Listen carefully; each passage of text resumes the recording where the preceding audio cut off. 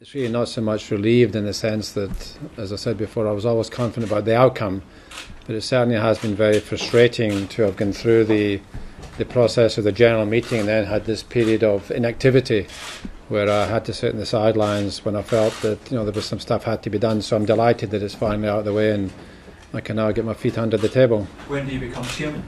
Uh, that should happen on Friday at the first board meeting. At the moment, I have been appointed a director. Um, and we'll have our first board meeting following that appointment uh, tomorrow. We, we, don't know the amount of cash yet. Um, if you were to ask me, the best I could really honestly say is I still think it'll be substantial. You know, we are in the process of going through the budgets at the moment.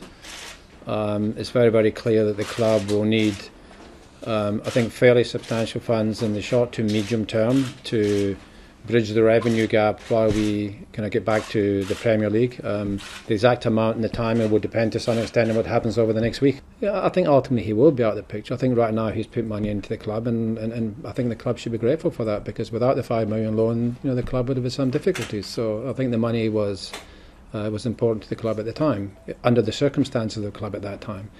But given the changed circumstances of the club, where we are not trying to shrink the club, we're not trying to run the club as a, as a minor club in Scotland. You know, we are determined, and, and, the reason we are here is to take the club back to where it naturally belongs. And it's in that context, I think, that we have to change the relationship.